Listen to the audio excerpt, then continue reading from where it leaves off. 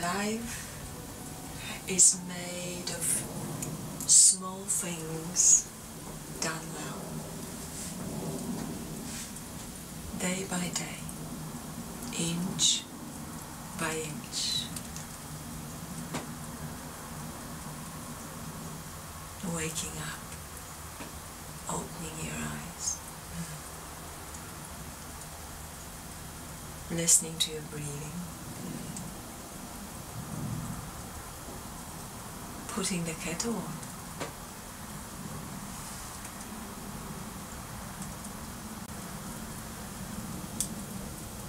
The small things done well.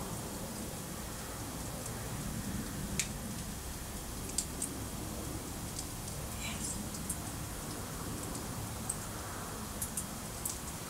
Since the small things done well constitute the great things in our- life that we wait for,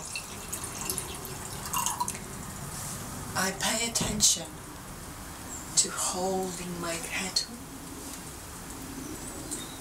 holding the moment, and full-heartedly living it.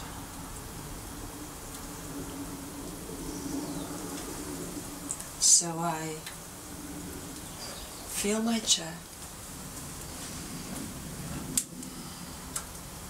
I look at my tea. I look at my day ahead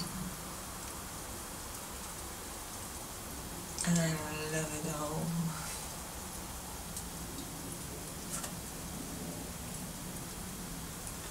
Ordinary things are the primordial essence of our existence.